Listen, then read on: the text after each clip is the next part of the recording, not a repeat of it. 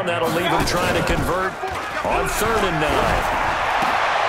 Looking for Landry, and it's intercepted. Joe Haden, the veteran, with a pick. And he's free going.